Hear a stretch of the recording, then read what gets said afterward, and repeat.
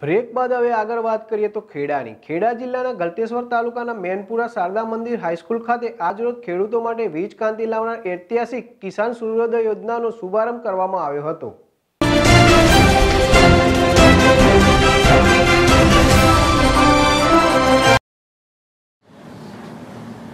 ઘરતેશ્વર એમજીવીસીએલમાં સમાવેશ કુલ ત્રેપન ગામ પૈકી પ્રથમ તબક્કામાં નવ ગામને દિવસ દરમિયાન વીજળી આપવા પ્રથમ તબક્કામાં કિસાન સૂર્યોદય યોજનાનો પ્રારંભ કરવામાં આવ્યો છે, જેમાં રોજવા, માહી, ઇટારી, વનોડા, મેનપુરા, પૂણી, ટીંબાના મુવાડા, પડાલ, રસુલપુર, પાંચ અને સાંગોળનો સમાવેશ થાય છે, જેના કુલ ખેતીવાળાની ગ્રાહકોની સંખ્યા લગભગ ત્રણસો અગિયાર જેટલી છે. ઉલ્લેખનીય છે કે ગળતેશ્વર એમજીવીસીએલના કુલ ખેતીવાડીના ગ્રાહકોની સંખ્યા લગભગ પંદરસો જેટલી છે. સમગ્ર તાલુકાના વીજ ગ્રાહકોને દિવસે વીજળી પૂરી પાડવાનું કામ લગભગ પૂર્ણ થઈ ગયેલ છે. તબક્કાવાર બીજા એસએસએન ફીડરોમાં દિવસ દરમિયાન ખેડૂત ગ્રાહકોને વીજળી પૂરી પાડવામાં આવશે.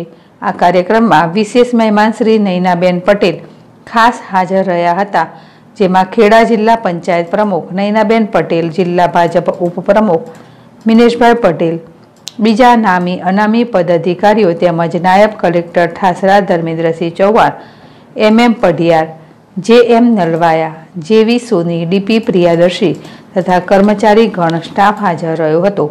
કિસાન સૂર્યોદય યોજનાની ઘણી વિશેષતાઓ છે. ખેડૂતોને દિવસે વીજળી મળી રહેશે, જેથી રાતના ઉજાગરા વન્યજીવ જંતુઓના ભય કડકડતી ઠંડી અને ચોમાસામાં પડતી મુશ્કેલીઓથી કાયમ માટે મુક્તિ મળી રહેશે. આ યોજના માટે પાંત્રીસો કરોડના ખર્ચે સાસઠ કેવીની ત્રણ હજાર ચારસો નેવું સર્કિટ કિલોમીટર જેટલી બસો ચોત્રીસ નવી ટ્રાન્સમિશન લાઇનો તથા બસો વીસ કેવી વિના નવ નવા સબસ્ટેશનો થકી વીજ માળખું સુદૃઢ કરવાની જાહેરાત કરવામાં આવી છે. વડાપ્રધાન નરેન્દ્ર મોદી દ્વારા આ યોજનાનો તારીખ ચોવીસ દસ બે હજાર વીસના રોજ ઈ શુભારંભ યોજવામાં આવ્યો હતો. મધ્ય ગુજરાત વીજ કંપનીમાં આ યોજનાના દ્વિતીય તબક્કામાં ગળતેશ્વર તાલુકાના કુલ નવ ગામોના ખેતીવાડી ગ્રાહકોને દિવસ દરમિયાન વીજ પુરવઠાના વિતરણનું આયોજન આ યોજના દ્વારા કરવામાં આવેલ છે. હાલ દેશમાં ચાલી રહેલ ખેડૂત આંદોલનના સમયે આ યોજના હકારાત્મક સાબિત થશે તેમ લાગી રહ્યું છે. રાકેશ મકવાણા જેડેશ ટીવી, ખેડા.